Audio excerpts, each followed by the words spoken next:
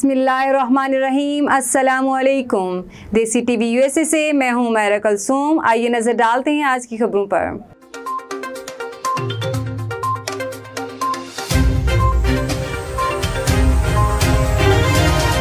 महँगाई से सताए अवाम के लिए बुरी खबर। बिजली और पेट्रोल के बाद गैस भी महँगी हो गई।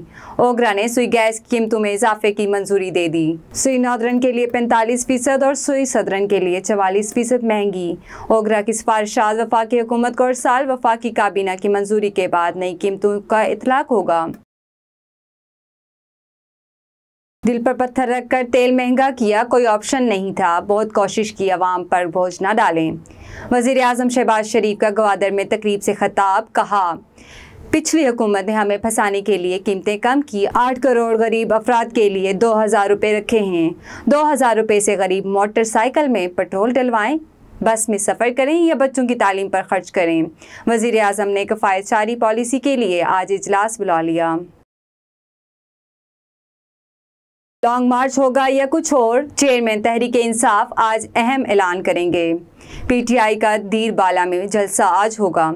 इमरान खान आइंदा की सियासी हमत अमली बताएँगे। गुजशत रोज़ बुनेर में जलसा आम से खिताब में इमरान खान का कहना था, हमने इतनी महँगाई पूरे दौर में नहीं की जितनी दो माह में हुई। हमने रिलीफ देकर महँगाई से अपने लोगों को बचाया, साठ रुपये लीटर पेट्रोल बढ़ा दिया। तनख्वाहदार तबके का क्या होगा? न्यूट्रल अच्छी चीज़ है, मगर मुल्क की सालमियत भी ज़रूरी है। शौकत तरीन के ज़रिए न्यूट्रल्स को बताया दिया था कि साजिश कामयाब हो गई तो मुल्क को नुकसान होगा। मुझ पर गद्दारी का मुकदमा चला। इमरान हुकूमत के माहे से पेट्रोल, बिजली महँगे हुए। आवाम की तकलीफ़ का एहसास है। महँगाई ने पिछले चार साल से अवाम की ज़िंदगी अजीरन कर दी। मुल्क की माशी बुनियादें मज़बूत की जा रही हैं। इन मुस्लिम लीग नून ही फिर आवाम को रिलीफ देगी। हमें आवाम की तकलीफ़ का अदराक भी है। एहसास भी। वज़ीर अजम लोड शेडिंग में कमी के लिए कोशिश कर रहे हैं।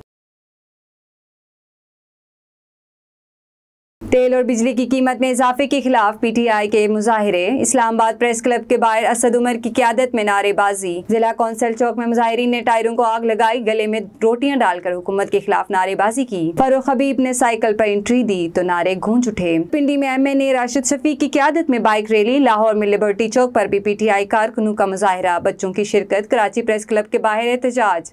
इमरान इसमाइल, खुरम शहरजमान और दीगर रहनुमाओं की शिरकत। अब तक के लिए इतना ही। मजीद खबरों के लिए देखते रहिए देसी टीवी यूएसए या फिर विज़िट करें हमारी website W W W dot Desi T V U S A dot com